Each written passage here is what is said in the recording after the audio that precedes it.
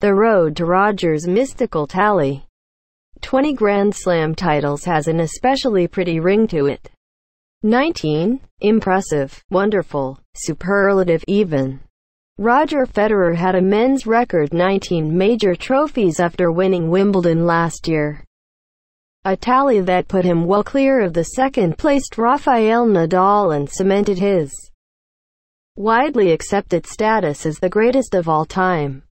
But 20. That's huge. Almost mystical. Very few players have traversed such territory. The way the crowd reacted during the trophy presentation after Federer defeated Marin Cilic. The Australian Open 2018 men's singles final and the stat was announced.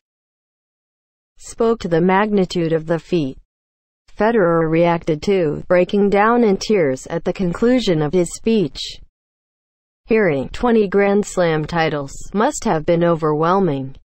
But, in all honesty, it doesn't really matter how many major singles trophies Federer has collected. What matters is that he's still collecting them. In August this year, the Swiss will celebrate his 37th birthday.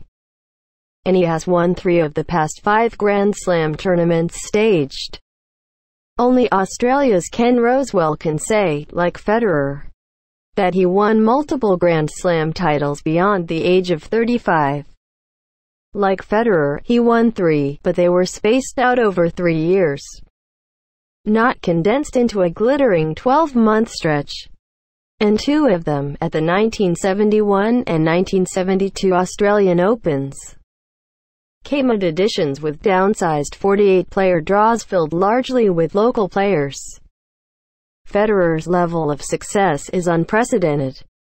Prior to 2017, it would have been considered almost impossible. Before he triumphed at the Australian Open last year, Federer endured a four-and-a-half-year stretch without a major title. His last success had come at Wimbledon 2012, a few months later, in October was the last time he was ranked number one. In the ensuing period, through the end of 2016, Federer's claim to the GOAT throne was under siege. He was increasingly overshadowed by other players, primarily by Novak Djokovic, who stopped him in three major finals across 2014 and 2015, and also in the Australian Open 2016 semifinals with Nadal continuing to rack up Roland Garros titles. Both he and Djokovic were catching Federer on the list of Grand Slam titles won while simultaneously improving their head-to-head -head records against the Swiss. In that four-and-a-half-year period following Wimbledon 2012, he won a collective 8-17 against the Spaniard and the Serb which is what made his 2017 renaissance all the more extraordinary. You're not supposed to get better at age 36. Athletes at that age are supposed to be tailing off physically and mentally into retirement. But Federer's victory in last year's final against nemesis Nadal from 3 to 1 down in the fifth set quite literally changed everything. As John Wertheim noted at the time for Sports Illustrated, the fifth set of the Federer-Nadal 2017 Australian Open, a 42-minute interregnum, will have consequences on tennis history that will echo for decades. Added Federer's former coach Paul Annacone. Speaking to Wertheim on the Beyond the Baseline podcast. When Roger all of a sudden at 3 to 1 down in the fifth is able to play 20 minutes of spectacular tennis and basically hit Rafa off the court, that is an awakening. And I think we've seen a little bit of the trickle-down effect. That trickle-down effect has persisted ever since. Suddenly, Federer was playing freely against his rival winning their subsequent encounters in Indian Wells, Miami and Shanghai all in straight sets.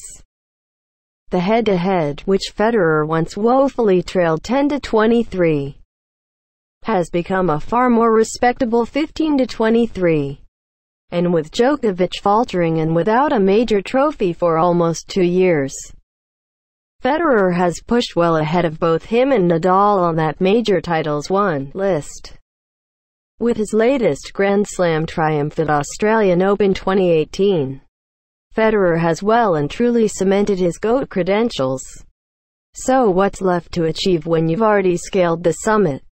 Aim higher. As Lee Walsh observed in the AO Live blog. Maybe I'm reading too much in this but who doesn't love a sign? As Federer meandered down the Walk of Champions as he exited Rod Laver Arena. He gave a little tap to the pillar which Steffi Graf hangs from.